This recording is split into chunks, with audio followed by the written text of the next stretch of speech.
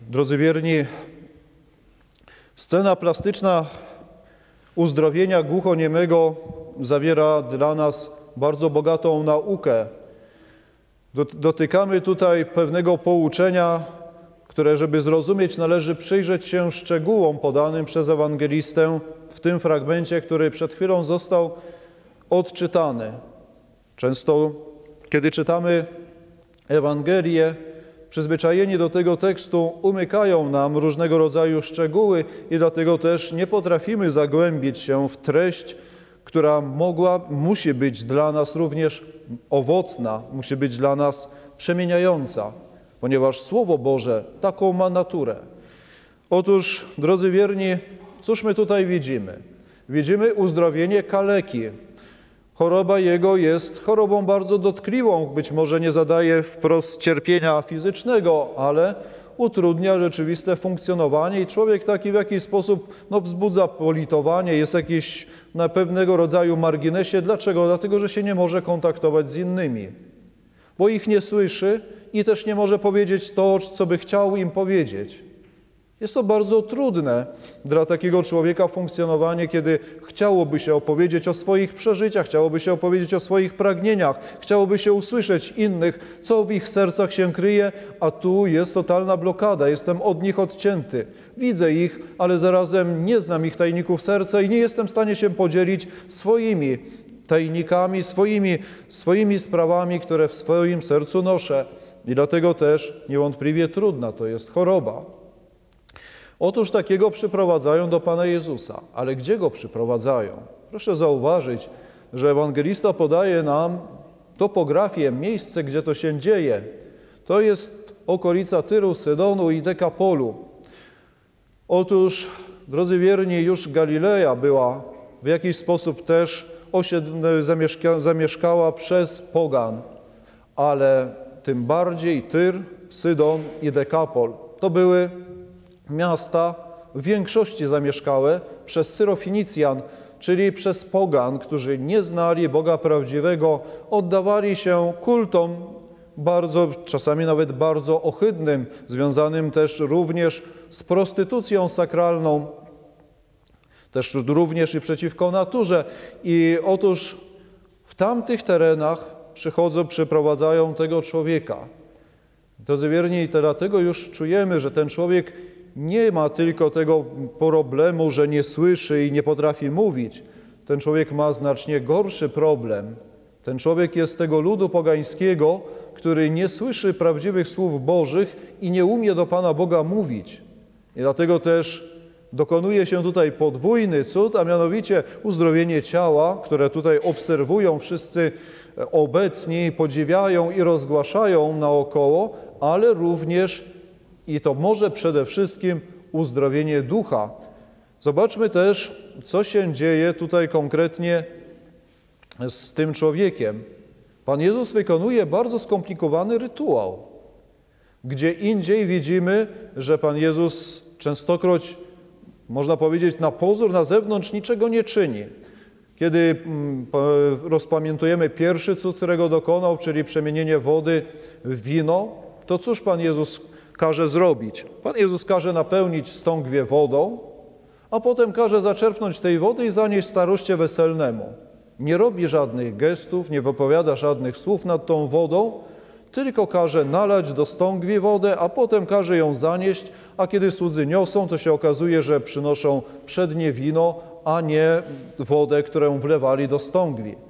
Kiedy przychodzą do Pana naszego Jezusa Chrystusa dwaj ślepcy pod e, Jerychem i proszą, ażeby otworzył im oczy. Pan Jezus się pyta ich, co chcą, ażeby im uczynił. Oni mówią, że chcieliby przejrzeć, a On mówi, wedle waszej wiary niech się wam stanie. I po tym stwierdzeniu okazuje się, że otworzyły się im oczy. Kiedy w Kafarną setnik przychodzi do Pana Jezusa i prosi o to, żeby uzdrowił jego sługę, który cierpi bardzo. Pan Jezus rusza w tym kierunku domu setnika, ale setnik mówi, że nie jest godzin takiego zaszczytu, ażeby Pan Jezus szedł pod jego dach, ale prosi, ażeby tylko rzekł słowo, a będzie zdrowy jego sługa. I staje się to. Nie idzie Pan Jezus do domu, a okazuje się, że w tej chwili sługa powrócił do zdrowia. Do zmarłego i cztery dni leżącego w grobie Łazarza Pan Jezus krzyknął, nie wchodząc do środka, do grobu, krzyknął Łazarze, Łazarzu, wyjdź na zewnątrz. I tyle, i wyszedł.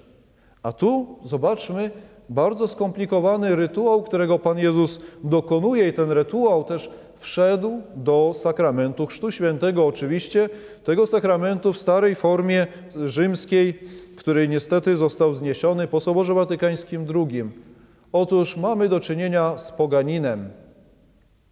Mamy do czynienia z kimś, kto Boga nie zna. Tak jak katechumen, którego przyprowadza się czy się przynosi do kościoła, on jeszcze nie ma wspólnoty z Bogiem, Boga nie zna i trzeba go oddzielić od tego świata. Zobaczcie, Pan Jezus bierze tego poganina, tego głuchoniemego i prowadzi go osobno, oddziela od tłumu.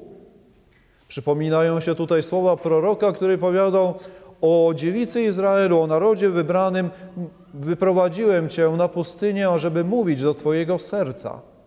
Za chwilę jeszcze powrócimy do tego, tego słowa prorockiego. Wyprowadza Pan Jezus tego człowieka i widzimy, że dotyka jego zmysłów, dotyka jego uszu, do, ślini jego język i woła, wznosząc swoje oczy do nieba, Efeta, otwórz się. Drodzy wierni, cóż się, dlaczego tak się dzieje? Żeby uzdrowić ciało tego człowieka, wystarczyłoby, że rozkazałby, nawet w duchu rozkazałby chorobie, żeby opuściła i by opuściła. Ale żeby uzdrowić duszę, potrzeba współpracy człowieka. Zobaczcie, nawet w konfesjonale, gdyby kapłan, nie wiem, milion razy wypowiedział nad nieżałującym za swoje grzechy grzesznikiem słowa rozgrzeszenia, nic mu nie pomogą. Nie da się. I dlatego też te gesty, które Chrystus wykonuje, mają wzbudzić w tym biedaku wiarę, bo przecież to dopiero wiara powoduje, że człowiek przyjmuje to, co Bóg mu mówi i odpowiada potem na to, co usłyszał i swoim językiem, wielbiąc Boga na modlitwie, ale również i swoim życiem, wypełniając wolę Bożą. I to się, na tym zasadza się życie chrześcijańskie, życie z wiary. Dlatego też Chrystus prowadzi ten długi rytuał, ażeby przez te gesty pobudzić duszę tego człowieka, ażeby on uwierzył w Boga prawdziwego, przyjął Jego słowo i odpowiedział na to słowo swoim życiem. I tutaj, drodzy wierni, nauka to jest wielka i ważna dla nas, ponieważ tak się składa, że my również jesteśmy narażeni na to, że ogłuch, ogłuchniemy i staniemy się niemowami. Pod tym względem niestety nie jesteśmy w lepszej sytuacji niż ten człowiek, który był przyprowadzony do Pana Jezusa. Żyjemy w świecie pogańskim. I nie ma co się dziwić. I być może te, teraz, jak nigdy dotąd, od początku chrześcijaństwa, świat jest tak spoganiały, że aż przerażenie obejmuje człowieka, ponieważ kiedy sobie chociażby popatrzymy na tą całą degręgoladę płciową, do której doszliśmy, od wszystkich absurdów, ileś tam dziesięciu płci i, i wszelkiego libertynizmu, który jest promowany, i wszelkiej nieufności wobec zdrowej nauki Chrystusowej dotyczącej moralności, to przecież jak można w takim świecie żyjąc nie uchronić siebie od pewnego rodzaju głuchoty na Boże Słowo. A dlaczego tak się dzieje, że ten świat tak szybko poganieje? Według mnie, i chyba się nie pomylę bardzo, jednym, jedną z odpowiedzi, dlaczego takim tempie świat poganieje, jest, są sprzęty elektroniczne. Myślę, że to jest niesamowita tuba szatana do tego, ażeby ogłuszyć ludzi, A jak człowiek nie słyszy, to nie mówi. To jest oczywista sprawa. Czyli żeby ducha ludzkiego tak ogłuszyć, żeby on już Słowa Bożego nie usłyszał i żeby potem nie odpowiedział Panu Bogu na to Słowo. Tak się to dzieje niestety i to w zatrważający sposób. Teraz każdy ma dostęp do jakiegoś sprzętu, każdy ma jakiś tam ekran w swojej kieszeni, na swoim biurku, przy swojej sypialni, w swoim salonie. I co gorsza, te nasze ekrany cały czas świecą. I cały czas z tych głośników jest nadawana do nas jakaś informacja, jakiś szum, który niestety tępi nasz duchowy słuch. To jest okropne. Kiedy nasz czcigodny arcybiskup, założyciel arcybiskup Marcel Lefebvre zakładał bractwo, to jasno zaznaczył, że w przeoratach bractwa absolutnie nie wolno posiadać telewizorów. Mądrość niesamowita, bo on doskonale przeczuwał, do czego to doprowadzi. Doprowadzi to do tego, że kapłani zamiast klęczeć przed tabernakulum, będą siedzieć przed telewizorem i będą bombardowani tymi informacjami, które są niestety raczej złe niż dobre i nie będzie ich duch wznosił się do Pana Boga, to znaczy gorliwość opadnie, zepsucie nastąpi, a jeżeli sól utraci swój smak, czymże się to posoli? Dlatego arcybiskup mówił, naszym telewizorem jest tabernakulum. W międzyczasie doszły dwa jeszcze poważniejsze, jedno właściwie jeszcze bardziej poważne niebezpieczeństwo, a mianowicie internet, który raczej arcybiskupowi nie był jeszcze dobrze znany. I tutaj możemy też dołączyć radia. I to są pewne formy, że tak powiem, niszczenia ducha, które powodują, że człowiek głuchnie na Słowo Boże. W naszych domach bardzo często nie gasną telewizory. W naszych domach bardzo często wszyscy siedzą przed swoimi ekranami i coś ciągle oglądają, coś, czegoś ciągle słuchają. I drodzy wierni, zadajmy sobie sprawę, zadajmy sobie pytanie, a cóż to nam daje? W tej perspektywie dobra naszej duszy, naszej relacji z Panem Bogiem. Iluż przychodzi do konfesjonału i mówi, proszę księdza, mam takie trudności na modlitwie. A czemu się dziwi, że masz trudności na modlitwie? Jeżeli Ty Bożego Słowa nie słyszysz, bo jesteś głuchy przez ten nadmiar tych różnych informacji, dobrych i złych i neutralnych, różnego rodzaju, ale w nadmiarze tego wszystkiego masz, to w Twojej głowie co się kotują te wszystkie informacje, ciągle o tym myślisz, ciągle to przeżywasz, ciągle to trawisz, ciągle wokół tego się obracasz to co się dziwisz, że delikatny głos Boży nie dociera do Twojej duszy? A jak głos Boży nie dociera, to trudno Ci wydobyć jakąś odpowiedź. Jesteś jak ten głuchy, który rzeczywiście mówić nie potrafi, bo dlatego, że głuchy. Taka jest konsekwencja. I tu nie można się tłumaczyć, że ja oglądam kanał YouTube'owy Bractwa, albo ja tam słucham Radia Maryja, czy jakiejś tam innej katolickich audycji, filmów i tak dalej. Drodzy wierni, wszystko z umiarem można i nawet jest pożyteczne, jak najbardziej. Ale jeżeli siedzę po nocach i słucham tam, oglądam, nie wiem, dziesięć filmików po pół godziny, to, to jest tego zdecydowanie za dużo. Nawet jeżeli to są najpobożniejsze rzeczy, to jest tego zdecydowanie za dużo. Co z tego, że wysłucham ileś konferencji o modlitwie, a potem nie uklęknę do tej modlitwy, Będę miał wiedzę, ale nie będę miał praktyki. A tak się to dzieje niestety. Cóż z tego, że wiemy wszystko, różne opinie, komentarze polityczne, jesteśmy na bieżąco, co się dzieje w ojczyźnie, co się dzieje na świecie, co się dzieje w kościele i nie wiem co jeszcze. Cóż to nam daje? Czy przez to świat staje się lepszy? Czy ja potrzebuję tych wszystkich informacji?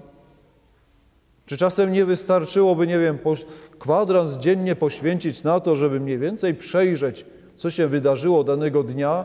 Czyż tego nie wystarczy? Ale my się boimy tej ciszy. My nie jesteśmy przyzwyczajeni do, do słuchania głosu Bożego. My wolimy jakoś zabić ten czas tym hałasem i jakoś tak przejść z dnia na dzień. Ale drodzy wierni, nie zauważamy, że stajemy się poganami. Czym się różnią ci wszyscy, którzy być może są bardziej już zdemoralizowani, być, być może bardziej nurzają się w wszelkiego rodzaju brudach moralnych, ale przecież oni adorują tego samego Bożka, którego i my adorujemy. Tylko, że ten Bożek w ich już sprawił większe te zgniłe owoce niż w nas. Ale to jest kwestia czasu. Tylko i wyłącznie czasu. Dogonimy tych, którzy być może nas teraz wyprzedzają w swoim zepsuciu. Gdybyśmy rzeczywiście wyłączyli nasze sprzęty, okazałoby się, że mamy wiele czasu. I co wtedy zrobić? Pomódl się, odmów różaniec, rozważ tajemnicę życia, męki, chwały Pana Jezusa, Jego Matki Najświętszej. Przeczytaj jakąś książkę pobożną. Zrób, wykonaj swoje obowiązki domowe, być może zawodowe, które są gdzieś zaległe. Ileż z tego dobra będzie? Będziesz słyszał głos Boży i będziesz odpowiadał życiem swoim na ten głos. I tutaj Najświętsza Maria Panna jest dla nas najlepszym wzorem. Ona była zasłuchana w Słowo Boże od samego początku swojego życia. Cały czas chłonęła to Słowo Boże, czyli swojego Syna, który znajdował w niej upodobanie i dlatego wcześniej zamieszkał w jej sercu niż w jej łonie. Ale nie tylko słuchała tego Słowa Bożego, ale również sama powiedziała o sobie, oto ja służebnica Pańska, czyli jestem tą, która wypełnia Słowo Boże. Jestem tą, która to Słowo wprowadza w życie. I dlatego też ona w swoim życiu na tyle się zjednoczyła z tym Słowem Bożym, z Panem naszym Jezusem Chrystusem, że niepodobna było, żeby nawet jej ciało zostało na ziemi i została wzięta z ciałem i duszą do nieba. Oby jej wstawiennictwo wyprosiło nam przynajmniej takie zjednoczenie, by dusza nasza była stale scalona ze Słowem Bożym, żeby dusza nasza była nieustannie słuchającą Słowa Bożego, czyniącą to, co Bóg nam każe w swojej świętej woli, ażebyśmy po śmierci naszej mogli, będąc zjednoczonymi tu na ziemi ze Słowem Bożym, również tam w niebie się z Nim na wieki połączyć i cieszyć się tą wielką, nieprzyjmującą radością, która płynie z życia wewnętrznego Trójcy Przenajświętszej. Amen. W imię Ojca i Syna i Ducha Świętego. Amen.